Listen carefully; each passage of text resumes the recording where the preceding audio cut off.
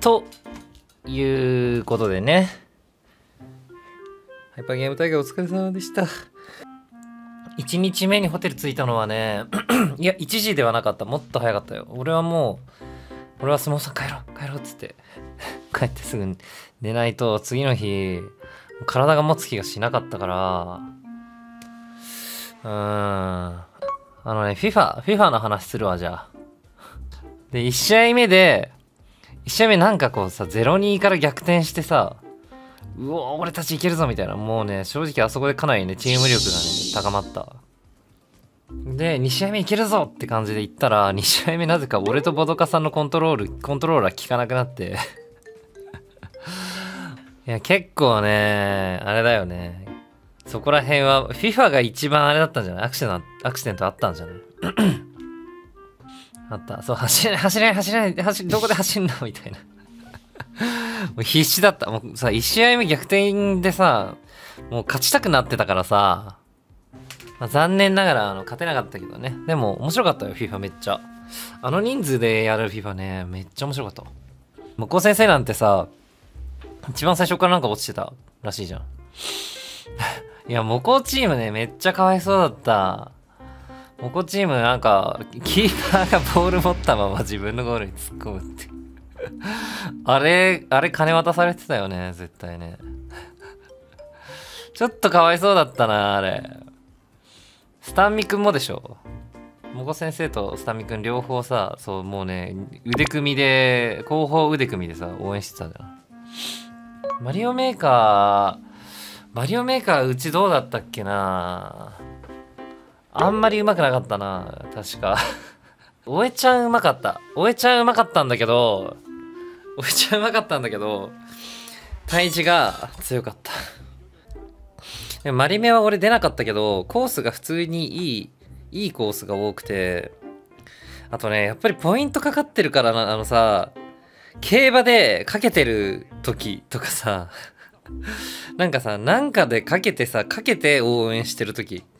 自分がなんかかけてる時ってこう、応援に熱入るんだよね。俺たちのチームのために頑張ってくれみたいな感じで、もう応援もね、楽しかったわ。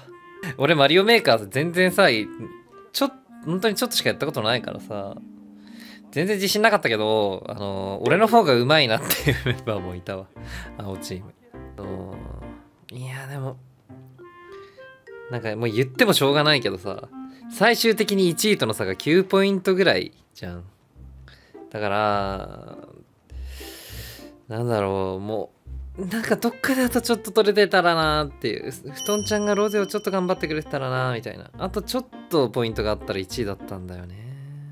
なんだろう、1日目。まあでも、すももさんがなんか控室にいなくて、最初。まあ来てはいたらしいんだけど、控室にいなくて、あのーステージに行って出てからスモモさんと確か会って、リリハの時とかだったかな。スモモさんと会ったのね、やっぱ嬉しかったね。スモモさんいたっけ？いや、なんかね、スモモさんね、人間のアバター着てね、仮り染めの姿で来てた。なんか、おっさんのアバターで来てたわ。おば、おっさんスキンで。うん。初めて話した人うん、ちくのぼさんとかも初めてだったよね。うちのチームで初めてだったのって、誰だ？ゆふなくん初めてじゃないし、かせんさんも初めてじゃないし。あ、でもすももさんがそもそもまあ、初めてっていうかまあ実際に会ったのは初めてだけど、うーん。すももの声、そう。あの、なんか声はちゃんと一緒だったよ。山本先生もね、実はね、話したことあったんだよね。ゆゆうたくんは、あの飲みに行ったりしたことある、一緒に。多分、ちくのぼさんぐらいかな？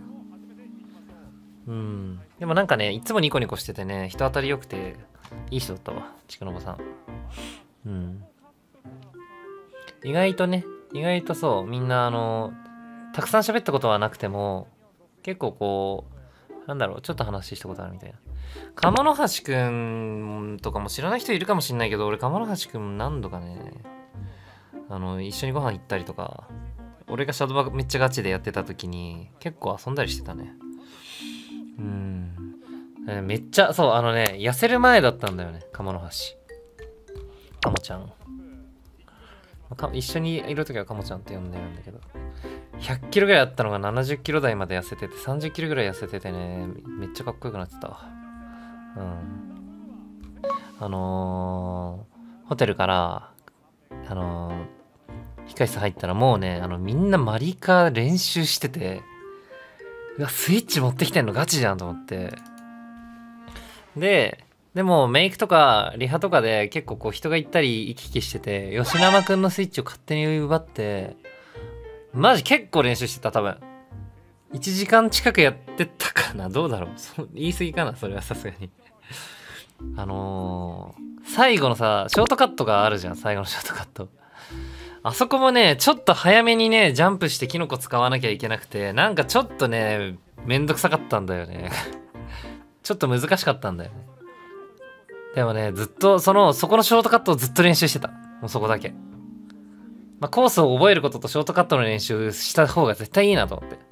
で、すももさんも呼んで、すもさん、すもさんここ、ここのコースやっといてつって練習させて、そう、そのおかげでね、俺たち3人ね、最初1位でね、ちょっと見るか。めっちゃうまかったんだよ、俺。